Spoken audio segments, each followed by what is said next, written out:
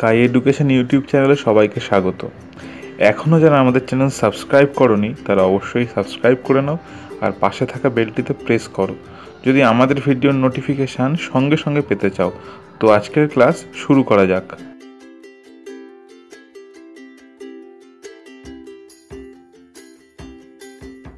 আজকের ক্লাসে আমরা লিনিয়ার ডিফারেনশিয়াল ইকুয়েশন কীভাবে সলভ করতে হয় শিখব।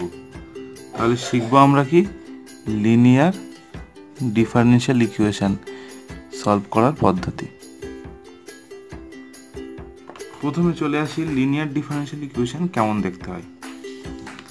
একটা ডিফারেনশিয়াল ইকুয়েশন এরকম দেখতে হবে d y d x plus p y equal to q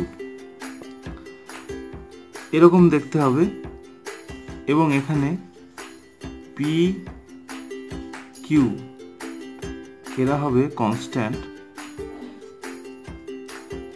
or function of x তাহলে লিনিয়ার ডিফারেন্সিয়াল ইকুয়েশনটা কেমন দেখতে হবে? ডিওয়াই ডিএক্স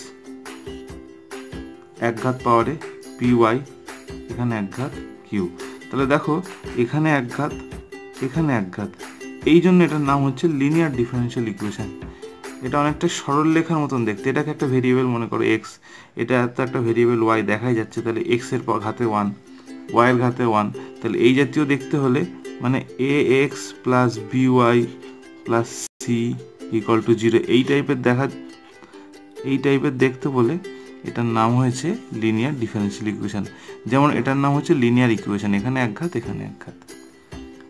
তাহলে আমরা এই লিনিয়ার ডিফারেন্সিয়াল ইকুয়েশনটাকে এটা, এটার নাম হচ্ছে লিনিয়ার ডিফারেন্সিয়াল ইকুয়েশন এটাকে সলভ করার পদ্ধতি শিখব।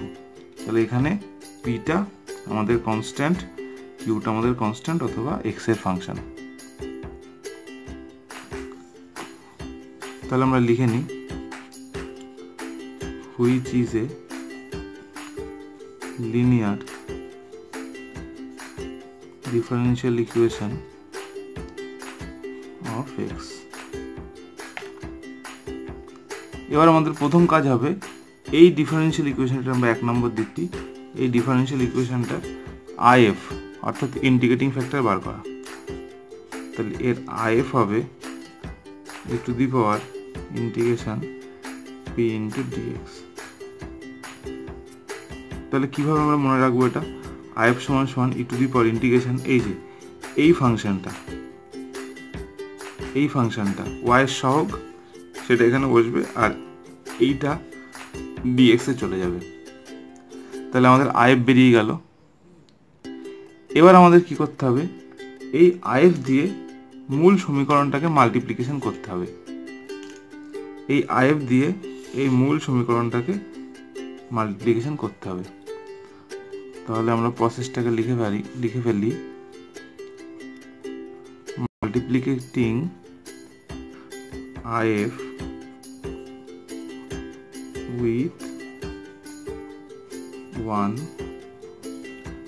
we have তাহলে এক নম্বরের সাথে আইএফ মাল্টিপ্লিকেশন করে পাই। তাহলে মাল্টিপ্লিকেশন করে আমরা কি পাচ্ছি একটু লিখে ফেলি। E to the power integration p d x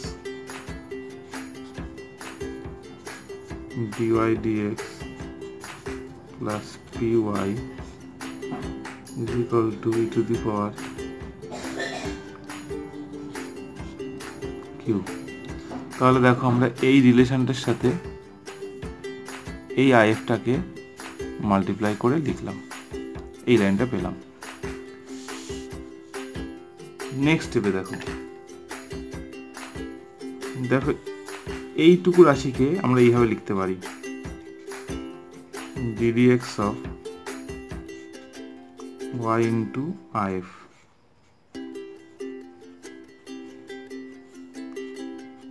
আর এখানে যা আছে সেম থাকবে।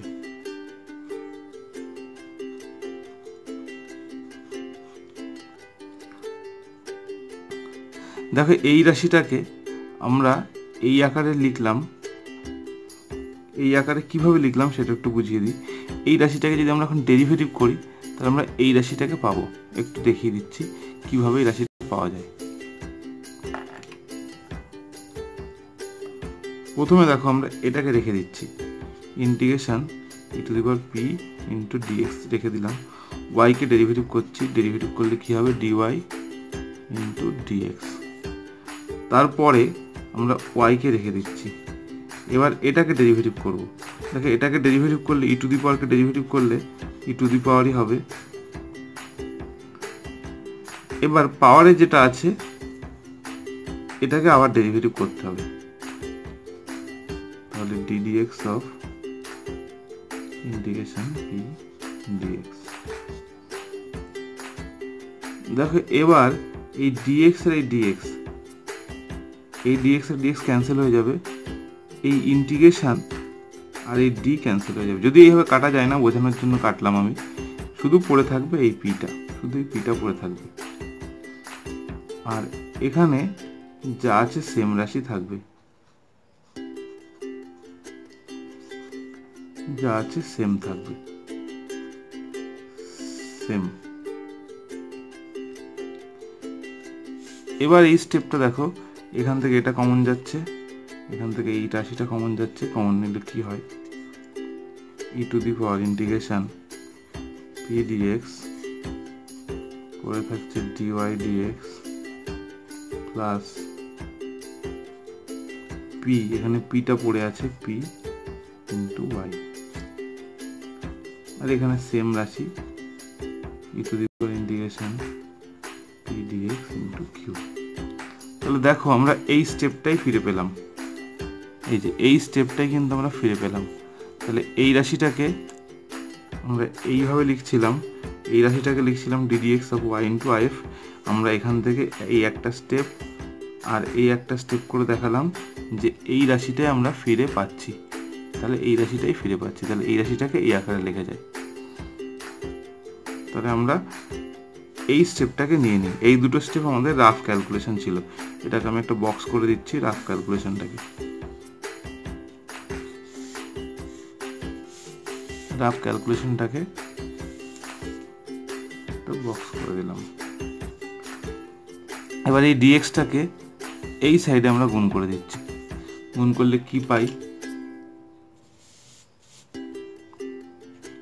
D of y to the power integration p d x সমান সমান e to the power integration p d x into q into d x next স্টেপে আমরা both সাইডে integration করে দিচ্ছি। বোথ সাইড ইন্টিগ্রেশন করলে এই ডি আর এই ইন্টিগ্রেশন ইন্টিগ্রেশন করছি, যেহেতু ডি অফ সামথিং আছে, তাহলে এই রাশিটা পড়ে থাকবে। Y to the power integration p d x অর্থাৎ ইন্টিগ্রেশন করলে এই রাশিটা হবে। ইজ ইকাল টু এখানে যা আছে।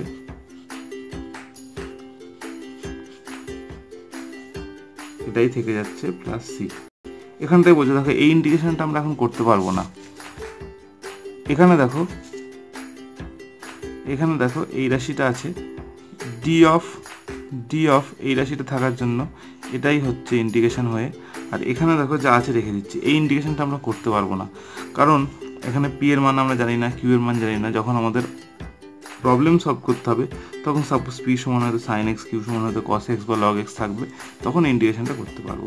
তাহলে এটাই হচ্ছে আমাদের রিকোয়ার্ড সলিউশন এখানে সি সমান সমান আরবিটারি কনস্ট্যান্ট তাহলে এটাই হচ্ছে আমাদের required solution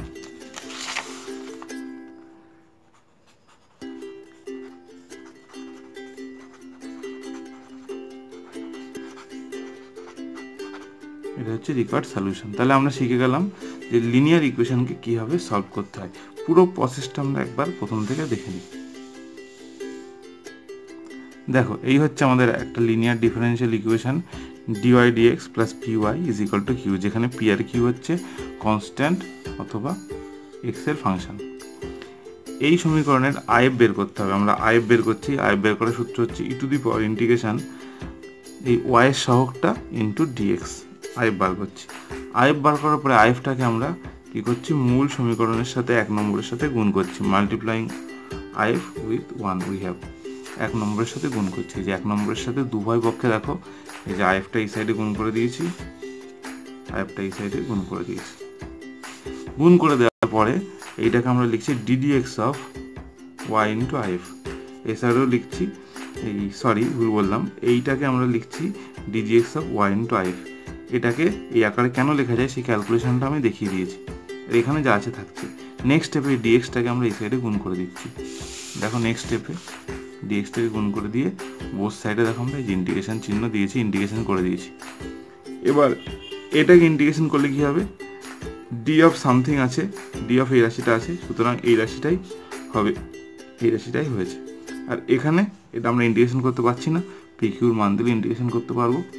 plus C C সমান arbitrary constant this is the required solution তো আজকের ক্লাসে এই পর্যন্তই। নেক্সট ক্লাসে আমরা অন্য কোনো টপিকস নিয়ে আবার শিখব।